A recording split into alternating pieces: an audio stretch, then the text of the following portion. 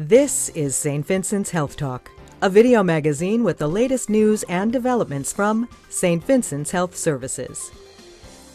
In this edition, as always, we start with safety first by highlighting employees who have volunteered to serve as safety coaches. We will introduce our new midwifery program, take a close look at our vestibular therapy program, and learn about a new program that will benefit both patients and employees. At St. Vincent's, we're investing in the future and working hard to be the hospital of choice for patients, associates, and physicians.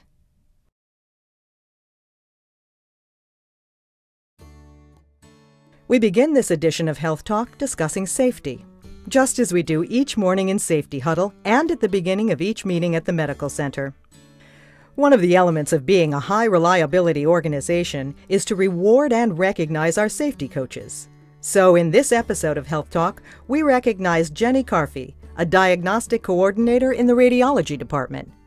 Jenny explains what it means to be a safety coach. If I had a family member in the hospital, I would want to make sure that all their meds are safe and their equipment around their beds and just total safe area for my family member. And I would want to do the same for patients. My primary role is to be a role model for my technicians in the department and have a safe environment for patients. I also want to see what barriers are affecting the staff that I can help them out and we can make a safer area. And um, I want to share the stories that I've learned from other people's experiences when we meet at patient safety meetings. We ask uh, the staff if there's any safety concerns. We address any equipment failures, any patient issues every morning and we log it in a book so that the evening staff can refer to it. We've also implemented a double check on ID bracelets, confirming that this is the correct patient that we're bringing in. We also check the outpatient test request to make sure that the patient's order is correct. And we, by validating and verifying it, yes, I have seen progress for safety in my department. Washing of hands is really, really improved. Wearing gloves, double checking charts and ID bracelets. Orders are definitely rechecked. And 200% accountability and teamwork has increased greatly for safety. It's a big concern for all our staff.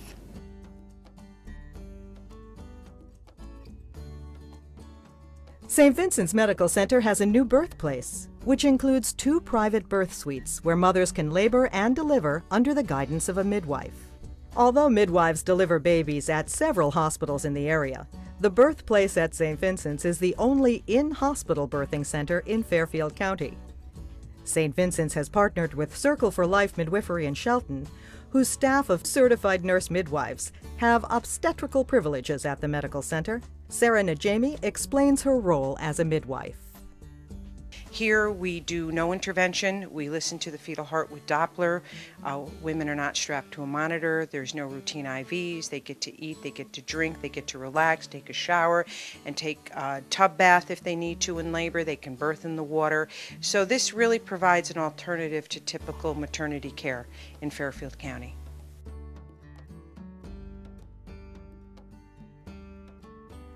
Our outpatient rehabilitation department is armed with skilled therapists and some of the latest technology to help patients with vestibular or balance problems or issues. Chronic balance issues tend to come from issues stemming from the inner ear or an event in the brain, such as a stroke. St. Vincent's Outpatient Rehab currently has two physical therapists on staff that specialize in treating dizziness and balance. Physical therapist Ann Wolf a certified vestibular therapist who is also certified in treating dizziness stemming from the neck, discusses how St. Vincent's program differs from others. Our program has uh, therapists who are certified in treating not only dizziness from the inner ear but from the neck.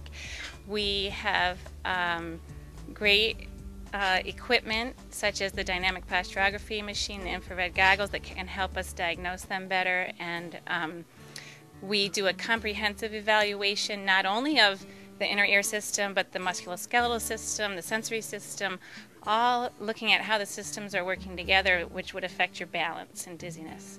So I think that our program is um, far more comprehensive than others that are out there. The Vestibular Balance Program also holds NASA technology in its pocket. The dynamic posturography machine creates a computerized assessment of patients' balance challenges.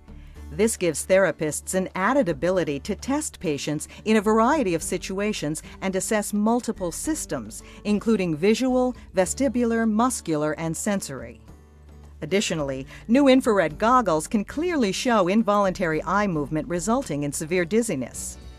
With this knowledge, the physical therapists can tell the type of inner ear problem and why the patient's dizziness and balance issues are occurring. Irene Lindquist, Coordinator of Outpatient Physical Therapy. And um, especially with the vestibular program, these patients have been dizzy sometimes for many, many years. And um, most of the time when we finish treating them, they're not dizzy anymore. And it just, it's very gratifying to see that because they have their life back. Patients who wish to have an initial assessment must have a physician prescription for therapy.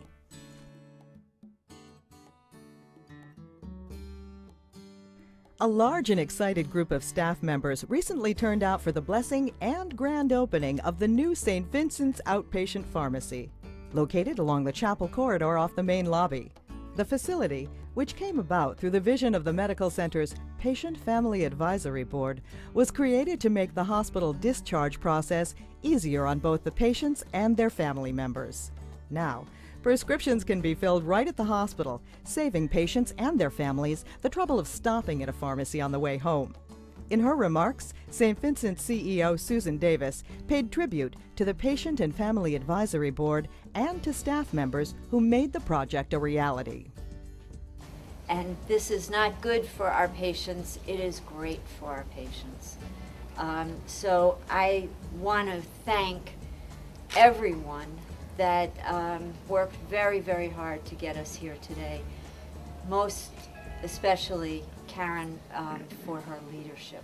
But the benefits of the new outpatient pharmacy don't end with patients and their families. Now, employees will also be able to fill their own prescriptions and that of any family member at the convenient location and enjoy a lower cost. According to Executive Director of Pharmacy and Laboratory Services, Karen M. Cinto, the outpatient pharmacy was really two initiatives the organization um, took. One was that about five years ago, um, the Patient Family Advisory Board felt it was very important for the continuity of care of the patients to have the ability to leave the medical center with medications so they can go home, to help with that transition of care, because sometimes it can be a little stressful to then leave the hospital and then go try to find a pharmacy to get their medication. So it was really to try to better serve our patients and their families as they're leaving our organization to kind of transition home. And the second was actually to um, to service our employees. Um, we have uh, employees and their families and dependents who are here um, who who we could help provide the, the pharmaceutical services that uh, make it more convenient for them and um, hopefully provide them a, a, a nice service and, a, you know nice nice employee satisfaction. So really twofold, our patients and our employees are both important to us. The outpatient pharmacy also carries many over the counter items as well. Stop by and meet our knowledgeable outpatient pharmacy staff, led by pharmacist and manager Amy Kurzetkowski, who had the privilege of filling the ceremonial first prescription following the ribbon cutting. The team will help you transfer your prescriptions and answer any questions you might have.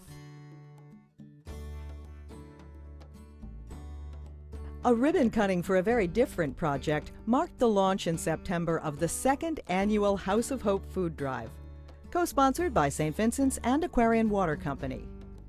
The two organizations partnered once again to help reduce hunger in the greater Bridgeport area supplying sorely needed food items to area food banks, including the Thomas Merton Center, the Bridgeport Rescue Mission, and St. Vincent's Family Health Center, all in Bridgeport, as well as the Spooner House in Shelton. During the two month drive, which concluded just before Thanksgiving, employees and visitors to the medical center dropped off non perishable canned goods and other nutritious food items at the decorated shed located at the hospital entrance. House of Hope co chairperson Rachel Gigliotti talks about the response and how it supports the mission. Um, everybody has been really generous with their time and volunteering, um, a lot of donations coming in steadily, and just a lot of positive energy about the whole project. This project is truly a representative of the legacy of St. Vincent and our founding father who um, gave food to those in need. So it 100% represents everything we're about, our mission, and uh, being there for our community and the underserved. Aquarion, St. Vincent's Urgent Care Centers, the Special Needs Center in Trumbull, and Behavioral Health Services Westport Campus also accepted donations and participated in staffing the House of Hope. As of production time, the drive had surpassed 6,000 pounds of food collected. If you would like to learn more about any of the topics discussed in this video, please visit www.stvincents.org.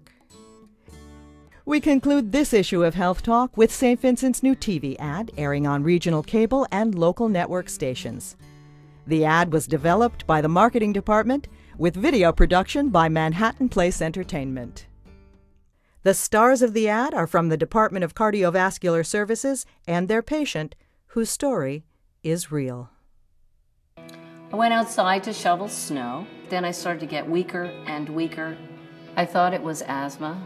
It turned out I had a heart condition. We literally had to stop Teresa's stress test to avoid her having a heart attack. Emergency bypass surgery was needed to save her life. Many years later, I feel great. I'm active. I love to travel. I still participate in all my sports. Thanks to St. Vincent's, I'm here to tell my story.